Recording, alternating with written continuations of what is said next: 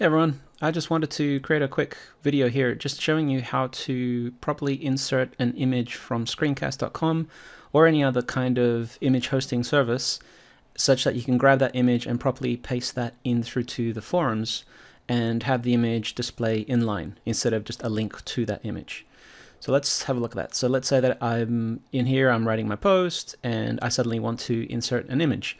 Now if that image is already stored inside a uh, image hosting service, say like Screencast, you can see here that what most people would do is they'll probably grab that URL, copy that, and then paste that in through to here, like that, and then maybe say create thread.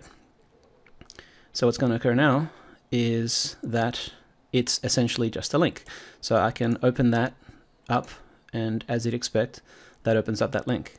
So that's fine. That's potentially one way, but you can see that you don't get the ability to see the image in line. So if I were to go back in here and say, well, all right, instead of just throwing in that link, I'm going to chop that off. And then I'm going to go through to the image icon and see if I can paste it in here. It says, what's the image URL? So I'm going to paste the screencast URL in there.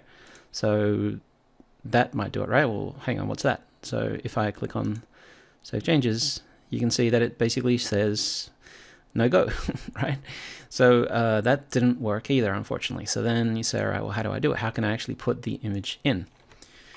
Well, you do have to click on that little picture icon in order to paste the image, but this is asking for the image URL itself. And if we go through to the screencast uh, or image hosting service, typically this page has a lot of other stuff on it. So you can see here that you've got header content, buttons, you've got a footer, and then you've got the image embedded inside that particular page.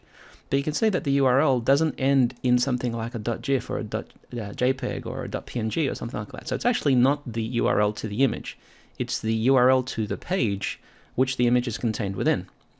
So how do we grab the image URL? Well, it's actually quite easy. All you've got to do is you've got to right click on the image itself, and then th this depends on your browser, but in Chrome, it's copy image address.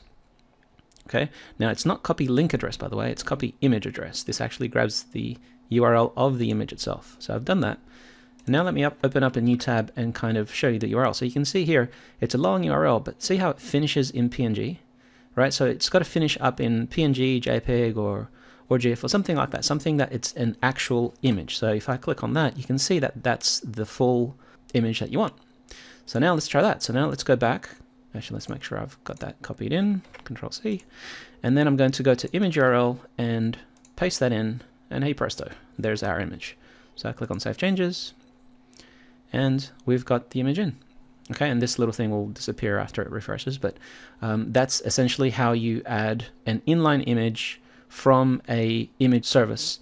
And remember, the key thing is to go to the page, you want to right click and you want to say copy image address and then that is the one that you put in through to the image URL box. All right, hope that helps. Talk to you later.